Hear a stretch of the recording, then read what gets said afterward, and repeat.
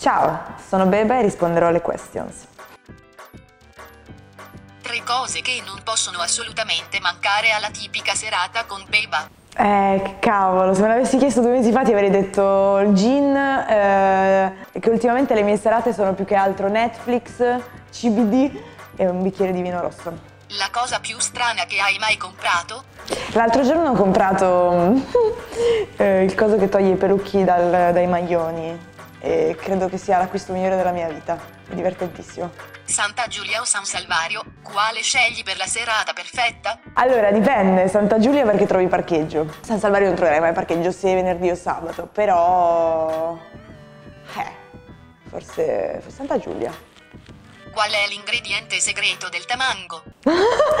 Gli acidi.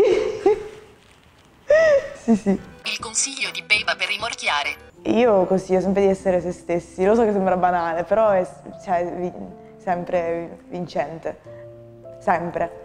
Anche per se devi, se devi dire una strozzata è meglio dirla a tuo modo, insomma. Meglio un feat con Morgan o con Google.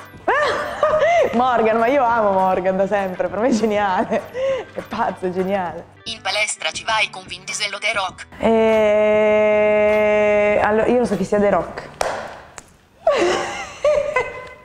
Che dobbiamo fare? Non sapevo se dirlo perché è grave, chi è? Già, è già risposta. Ah, Vin Diesel. Fai un appello ai tuoi haters. Tutto bene?